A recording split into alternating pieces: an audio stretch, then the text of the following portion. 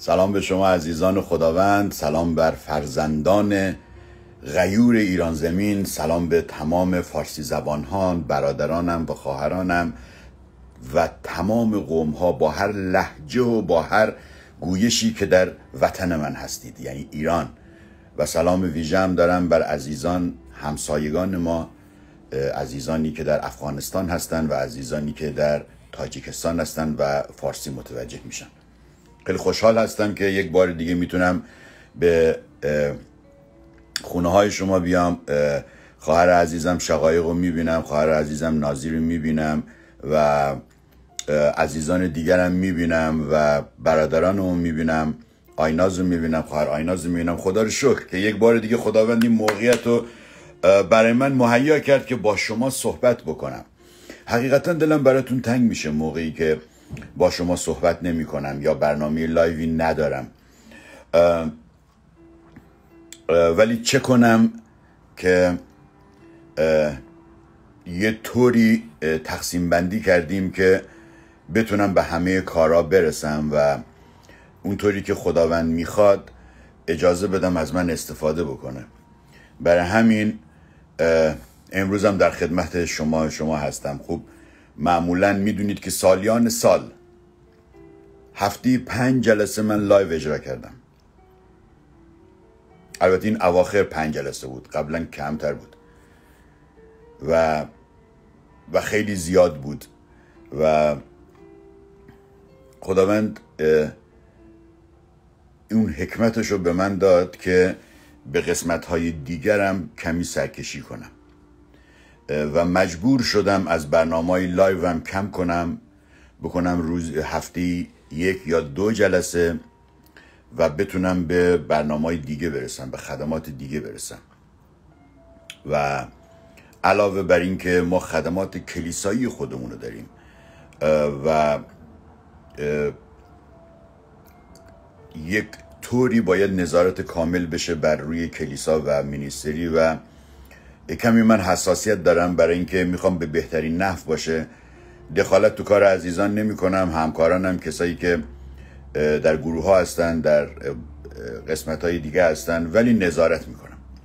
و یک می‌دونید که یه قسمت بزرگی از مینیستری ما رو آنلاینه در اینستاگرام، تلگرام، فیسبوک و یوتیوب. برای کسایی که نمی‌تونن بیان توی امریکا در استیت ما تو شهر ما و از این کلیسای خداوند استفاده بکنن بتونن از طریق فضای مجازی برنامه های ما رو ببینن و برکت بگیرن و به یک نحوی دیگه کلیسای پادشاه ابدی این مینیستری که در دو بخش فعالیت می‌کنه. یک بخش به صورت حضوری یک بخش بزرگ به صورت کلیسای آنلاین. و الان شما که دارید این برنامه رو می‌بینید یا میشنوید اون قسمت آنلاینش هست. من دوست دارم همه شما رو نزدیک ببینم. مثل برادر و خواهر من و ولی نمی‌تونم همه رو ببینم برای اینکه در این کشور نیستید. و خداوند این محبت رو به من به من کرده و تیم همراه هم که بتونیم این در این مسیر شما رو خدمت کنیم. من کشیش رضا پزشکیان هستم و اینجا مینیستری کلیسای پادشاه ابدیه. لطفا از شما تقاضا دارم کلیسای پادشاه ابدی رو به همه معرفی کنید در اینستاگرام، تلگرام، فیسبوک و یوتیوب. امروز می‌خوام درباره چیز مهمی صحبت بکنم مطلب مهمی صحبت بکنم. ولی خداوند یک سبک دیگه امروز به من داده. نه سبک موعظه است نه سبک برنامه های لایو. امروز من آیات کلام رو می‌خونم و طبق آیات کلام اون, اون پیامی که خداوند داره و به قلبم از چند وقت پیش گذشته رو به شما میدم. پس شما رو می‌خوام ببرم اول قرنتیان باب شش. امروز شاید کمی بیشتر سرمون تو آیات باشه. می‌خوام شما رو ببرم به اول قرنتیان باب شش. و از آیه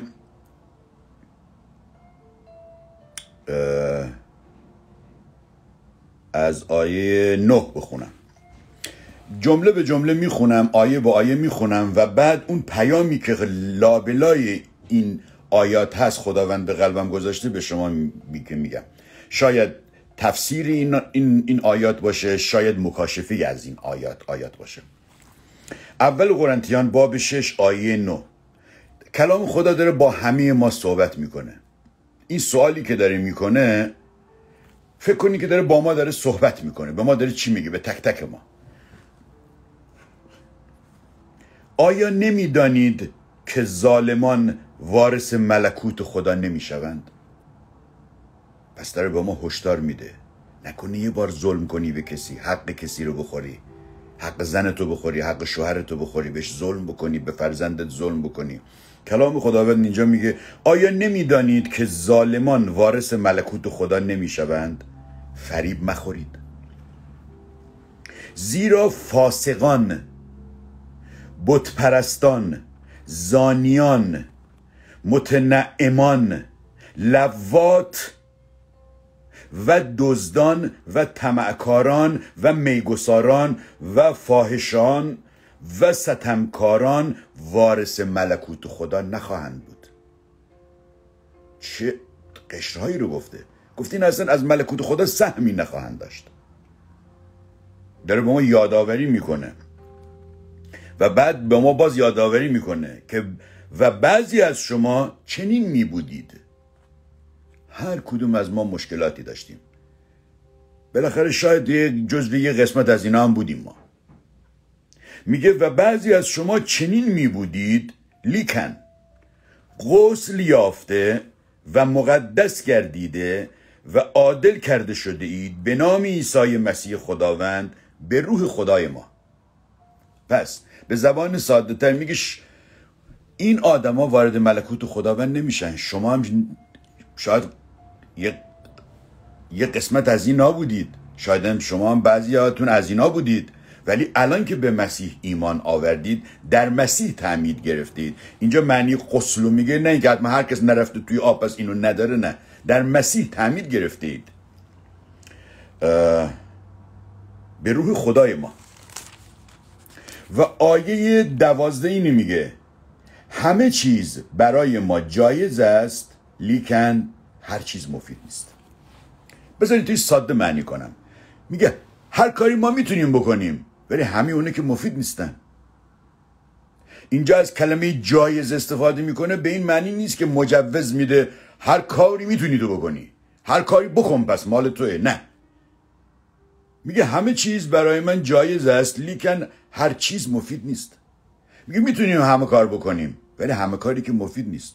شاید من توی ایماندار در بعضی از مواقع شاید وسوسه بشیم خیلی از کارا بکنیم ولی اون شاید برای ما مفید نباشن. اون چیزی مفیده که از سرچشمه کلام خداوند میاد. شاید بعضی از چیزا ظاهر مفیدی داشته باشن. آقا بریم این خانوم اومده توی کلیسا بریم بهش تذکر بدم این چرا با مثلا آستین حلقه اومده مثلا؟ برم بهش تذکر بدم مثلا. من که الان اینجا جزو جزو این چیزا هستم جزو کسایی هستم که می‌تونم برم بگم یه چیزی. مواظب باشین. مواظب باشین. ما پلیس نیستیم. اصلا چیزی به عنوان پلیس نداریم توی کلیسا. مثلا پلیس کلیسا. مطمئن باشید اگه خداوند لازم میدیدونست توی افسوسیان می آورد افسوسیان چهار. خدا به کلیسا داد شبانان معلمین باید می‌گفت مثلا پاسبانان و پولیسان ولی نگفت. خدا شکر. همه چیز برای من رواست لیکن نمی‌گذارم که چیزی بر من تسلط یابد. ببین اینجا پولس داره چقدر قشنگ میگه. میگه هر کاری می‌تونم بکنم. ولی نمی‌ذارم اون بر من تسلط پیدا کنه. شاید بعضی اوقات این چیزها ظاهر بدی هم نداشته باشن. مثلا یه, یه مثال دارم به شما می‌زنم. خدمت خیلی خوبه. خدمت رو خداوند می دوست دوست داره ما خدمت اونو بکنیم. ولی اگر خوب گوش کنید. خدمت ما هم مانعی شد بین ما و رابطه شخصی ما با خدا اون درست نیست. کلام خداوند اینجا میگه که اینجا میگه. همه چیز برای من رواست لیکن نمی‌گذارم که چیزی بر من تسلط یابد. هر چیزی بین ما و خدا قرار می‌گیره می‌تونه بر ما تسلط پیدا کنه. زن ماست شوهر ماست ماشین ماست بنز ماست بی ام ماست خدمت ماست شبانی ماست کتشلوار ماست چی هست؟ خوشگلی ماست خوشتیپی ماست. چی هست؟ می‌تونه بر ما تسلط پیدا بکنه. مواظب باشیم.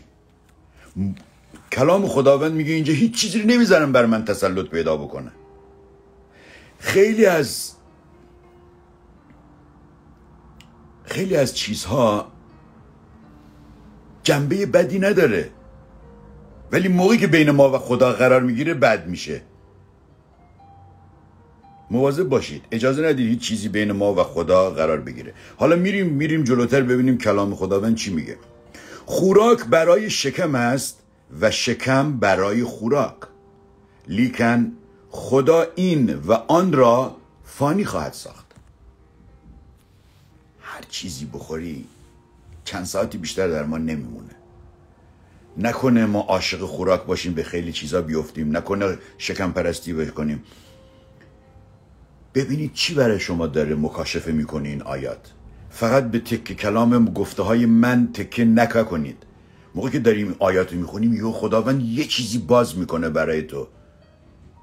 الناز دختر عزیزم که خیلی وقت ازت خبر ندارم. حتما اینترنت ایران ضعیفه. خواهر شمیران عزیز خدا رو شکر می‌بینم شما رو. خدا رو شکر. خوب بریم آیات دیگرم بخونیم. خیلی ساده دارم صحبت می‌کنم اما قلم به هم نه. مثلا اینطوری بزنم کد شوار بگوشم سلیبم اینجا خداوند میفرماید. مثلا اینطوری اینطوری. با اینو مال من نیست. من راحت صحبت می‌کنم. خدا رو شکر برای تمام خادمین. من اینطوری من اینو بلدم. هللویا که خداوند از ما استفاده می‌کنه.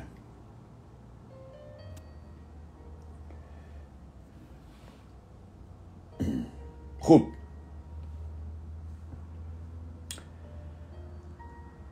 اینجا کلمات دیگر رو خوب بخونید. اما جسم برای زنا نیست. بلکه برای خداوند است. و خداوند برای جسم. منظورش می‌دونی چیه؟ جسم ما متعلق به خداونده و خداوند باید بر روی جسم ما تسلط و کنترل داشته باشه. ما زیر هیتی اون باید باید باشیم. و خداوند آیه آیه چارده و خدا خداوند را برخیزانید. پدر پسر را برخیزانید و ما را نیز به قوت خود خواهد برخیزانید. آیا نمی‌دانید که بدنهای شما اعضای مسیح است؟ امروز یکم فکوس من رو کسایی هست که میگن آقا یه شعاری از تو آمریکا میگن میگن که بدن من مال من. اختیار بدن من مال من. گاهی اوقات ما با شعارای این کلمه رو نمی‌خوام خوشم نمیاد. فمینیستی میگن میریم میریم جلو. بعد از اون سر بوم میفتیم پایین پایین آخه. بدنهای ما متعلق به خداونده. ما نمی‌تونیم هر کاری با بدن ما که ما بکنیم. توی ایران یا جاهای دیگه تو ایران ما که مخصوصا آقای که شیش رضا من می‌خوام با این خانم عاشق هم دیگه هستیم. ولی اینجا این آخوندا مسلمونن ما ندونستیم با هم دیگه ازدواج کنیم و نخواستیم آخوندا ما رو عقد کنن. حالا سالیان سال ما, ما ازدواج سفید کردیم. به حضور خداوند داریم زندگی می‌کنیم. و بعضی هم بچه هم دارن. نه عزیز اینطوری نیست. اونجا حکومت اسلامی ما باید همینطوری زندگی کنیم با هم کنار هم دیگه. کی گفته؟ یک زن یک مرد. ازدواج رسمی دائمی قانونی طبق قانون اون کشوری که هستند و حضور خداوند. ازدواج بکن برگ ازدواج داشته باش. بعد به شبان تماس بگی بگو آقا این آخوند برای من سیغه عقد خون. تو این لعنت اسلام رو بشکن تقدیس کن ازدواج ما رو. اون شمان دعا می‌کنه تقدیس می‌کنه. اون لعنت اسلامی اون خط خطبی عقد عربی رو میشکنه عقد رو باطل نمی‌کنه. خوب متوجه بشید. بعضیا میگن ما ما عقدمون رو باطل کردیم رفتیم یه عقد دیگه کردیم. کسی عقد مسیحی نمی‌کنه. ازدواجش رو تقدیس می‌کنه. کسی که ازدواج کرده الان مسیحی شده دو دوار ازدواج نمی‌تونه بکنه که باز زنش که. چون اگه ازدواج بکنه بقیه که بچه‌هاش چی بود؟ بودن بس اونا بس چیه؟ ما ازدواج رو تقدیس می‌کنیم. پس این اینو امروز این آیه رو انتخاب کردم که بدونید من تو ایماندار اختیار بدن خودمون رو نداریم هر طوری زندگی زندگی کنیم. آقا دوست پسر دوست دختریم اون منو می‌خواد ما اونو می‌خوام. من راضی اون راضی. گور پدر ناراضی. برو گرفتی برای خودمون. ما می‌خوایم با هم دیگه ازدواج کنیم دیگه. چهار سال داریم با هم دیگه خونه داریم زندگی می‌کنیم. زن ما. آقا ازدواج رسمی کردیم. نه این کاغذ مگه مهر و محبت میاره؟ عزیز این داستان رو تعریف نکن برای من. کاغذ مهر و محبت میاره چیه؟ کاغذ مهم نیست که. تعهد رسمی در حضور خداوند و قانون این کشور. اینجا داره با ما داره میگه که مواد که مواظب باشید. آیا نمی‌دانید بدنهای شما اعضای مسیح است؟ پس آیا اعضای مسیح را برداشته اعضای فاحشه گردانم؟ هاشا آیا نمی‌دانید که هر که با فاحشه بپیوندد با وی یک تن باشد؟ زیرا می‌گویند هر دو یک تن خواهند بود. چرا در اخراج ارواح و deliverance مهمه که آدم ها قبلا با کی سکس داشتن؟ زنها با چه مردایی سکس داشتن؟ مردها با چه زنا؟ اون چه روحی داشت؟ و اون روح می‌تونه در این, این چون یک تن میشن. کلام خداوند اینجا. آیا نمی‌دانید که هر که با فاحشه بپیوندد با وی یک تن باشد؟ زیرا می‌گویند هر دو یک تن خواهند بود. لاکن کسی که با خدا بپیوندد یک روح است. چطوری ما به خداوند میپیوندیم؟ روح خدا در ماست. اگر با یک کسی دیگه ارتباط سکسی داشته باشیم که اصلا زن ما نباشه شوهر ما نباشه هزار تا روحی دیگه که داشته باشه؟ به اون روح میپیونده اون روح به ما میپیونده. ای عزیزان ایماندار این یه داستان حسین کرد نیست من دارم براتون میگم. یا قصه دختر شای پریون هم نیست دارم میگم. یا فیلم هالیوودی هم تعریف دارم نمی‌کنم. این یک حقیقت کلام خداست. که ما هر کی با هر کی رابطه جنسی خارج از ازدواج داشته باشه با اون میپیونده و اون روح می‌تونه تو زندگی آدما بیاد. حالا هر شبان هر کشیش که بگن نه آقا اینا برای خودشون داستان دارن میگن. کلام خدا اینجا میگه. مواظب باشید. یک سال با این دو سال با اون سه سال با اون. آقا ما تو حال شناختیم. آقا این بلا شناخته. شناخت چهار پنج سال طول کشید. شما دیگه تمام سلولای همدیگه رو وجب کردید که بازم شناخته؟ ازدواج کنید دیگه عزیز.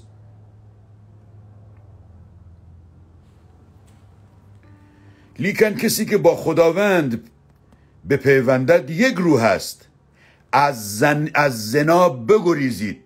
هر زن یا مرد فرق نمی‌کنه. هر گناهی که آدم می‌کند بیرون از بدن است. لیکن زانی با بدن خود گناه می‌کند. با بدن خود گناه میورزد. یا نمی‌دانید که بدن شما هیکل روح القدس است؟ که در شماست؟ که از خدا یافته اید و از آن خود نمی نیستید؟ بگید نمی‌دونید هیکل شما که به مسیح ایمان آوردید. بدن شما معبد روح القدس که روح القدسه. بعد میرید با یک دیگر میپیوندید اون روح دیگری میارید در خودتون. چرا این همه روح روح هست؟ برای اینکه زنا خیلی زیاده. این با تأسف باید اینو بگم. در ایماندارانم خیلی من دیدم. ولی بر خودشون سنبل میکن. آقا ما آمریکا هستیم اروپا هستیم آقا جان. اینجا دیگه تج... تجدد مای بادی مای چویس نمی‌دونم. انتخاب من بدن من فلان. کی اینو گفته آخه؟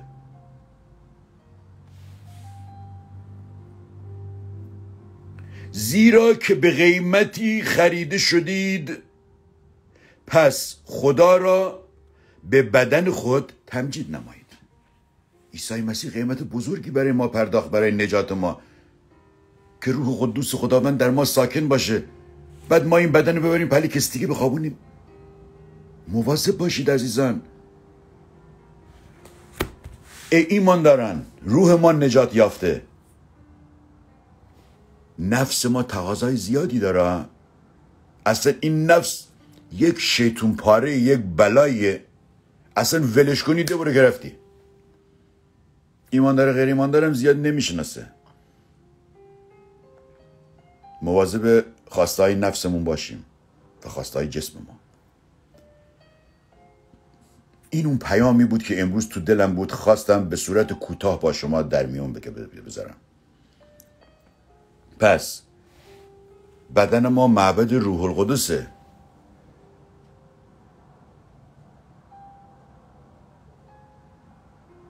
بدن ما معبد روح القدسه. ما بگه به خودمون متعلق نیستیم. ما به خداوند تعلق داریم. هر کاری نمی‌تونیم با بدنمون بکنیم. امروز خداوند این قسمت از کلامو به من گفت اینو بگو. البته امروز نگفت چند روزه هی میگه اینو بگو. حتما برای بعضیا مفید خواهد بود. حتما یک تلنگری شاید به یک نفر بزنه. مواظب باشیم. قبلا ما در بدبختی و گناه و زنا بودیم. چون اسلام همش دروغ و زناست دیگه. سیغ زنایه نمی‌دونم موقت زنایه چند همسری زنایه. مواظب باشیم دوباره گیر گیر نکنیم اونجا. دوباره میگم چون من بعضی اوقات شنیدم خیلی کشورها تو اروپایی تا آیا شاید تو آمریکا هم باشه پناهنده هستن بعضیا میرن می‌خوان پناهند ازدواج بکنن یه دختر با یه پسر پناهندگیشون به هم می‌خوره یا کسشون به هم به هم می‌خوره. میرن کلیسا برای اینا یه یه حالت یک محرمیت بخونه کلیسا. شو حالا تعجب می‌کنید. نه ولی هست. من دیدم با چشم خودم دیدم. با گوش خودم شنیدم. کلیسا یک محرمیت بخونه یه برگه بگیره که اینا با هم دیگه زندگی کنن. ولی ازدواج رسمی نیست که بتونن کیسشون بسته نشه. دقیقا در زنا دارین زندگی می‌کنین. هر کسی این کار داره می‌کنه. ازدواج رسمی دائم ثبت شده در حضور خدا و قانون اون کشور. به غیر از اون بر خودمون داستان درست نکنیم. آقا ما با هم دیگه فلانیم ما نمی‌دونم چی چیه ما در دوران شناخت هستیم. آقا دوران شناخت تمون نمیشه. چی رو می‌خوای بشناسیم ما؟ و بعضی هاشونم جملات تلخی می‌خوام بگم ولی می‌خوام بگم. جملات جملات تلخی می‌خوام بگم ولی بازم بگم. شاید برای بعضی تعجب انگیز باشه. ولی حقیقتا من اینا رو شنیدم. از زبانی کسی شنیدم که بذار بگم. بعضی میگن آقا دوران شناخت می‌تونید تا هر جا جلو برید ولی مواظب باشید بچه دار نباشید. نشید. بعد استناد می‌کنن به کشیش های بزرگه بزرگ. برای من کشیش بزرگ و کوچیک نداره. هر کس اگه طبق کلام خداوند داره حرف نمیز... که نمی‌زنه کنار. آناتیما در لعنته. کشیش بزرگ و کوچیک نداریم ما. کشیش بزرگ و کوچیک نداریم برای ما. یا حرف اونو بد شنیدید یا اون, اون آقای کشیش داره بد به شما تعلیم میده. دوران شناخته تا اینجا بریم جلو چیه؟ امروز دارم خیلی خارج از نرم یک شبان دارم صحبت می‌کنم نه؟ ولی دارم میشنوم که اینا رو بگم. خواهد یه ما دو ما با این بودیم شناخت و نتونستیم با هم دیگه بسازیم.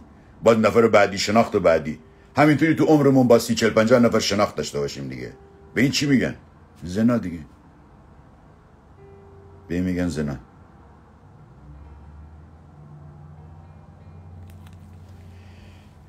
شناخت می‌تونیم داشته باشیم. ولی تا جایی جلو میریم که بتونیم عقب بیاییم دیگه. جایی جلو میریم که بتونیم عقب بیاییم. به گناه کشیده نشیم. موقعی که میره تو رابطه جنسی و سکسی میشه گناه. مواظب باشید. البته این مقوله که خیلی سرش بحث بحث دارن ولی امروز این چیزی بود که من به شما گفتم.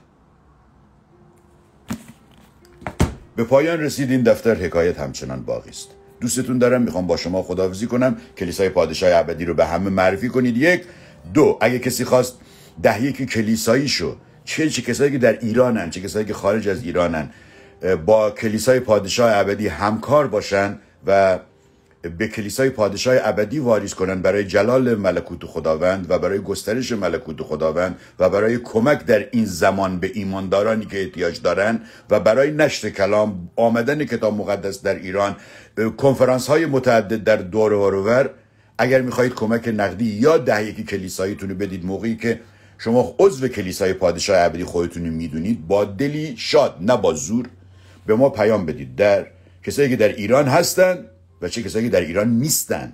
چه کسایی که می‌خوان 500 هزار تومن بدن چه کسایی که می‌خوان 500 میلیون تومن بدن. با ما همکار بشید ما همه چیز بذاریم سرش اینا رو برنامه‌ریزی داریم می‌کنیم و کردیم سالیان سال برای گسترش ملکوت خداوند. سه اگه کسی خواست برای شفا آزادی براش دعا بشه اگه ایمان داره عیسی شفا دهنده است به ما پیام بده ما یه تایمی بذاریم که بتونه با ما صحبت بکنه که برای شفا آزادی این عزیزان دعا بکنیم. کسی اگه فکر می‌کنه باید اخراج اروا بشه. کسی اگر فکر می‌کنه روی شیطانی تو زندگیشه کسی پلی دعانویس و تلسم و جادو تو زندگیش شده. پیام پیام بده. پیام بده به ما موضوعشو بگه. یه تایم میدیم بهش که بتونه با خود من تصویری صحبت کنه. می‌دونم اینترنت ایران ضعیفه ولی خدا رو شکر برای فیلتر شکنها و مسائل دیگه. دوستتون دارم می‌خوام با شما خداحافظی کنم. تا دیدار دیگه بدرود. I love you.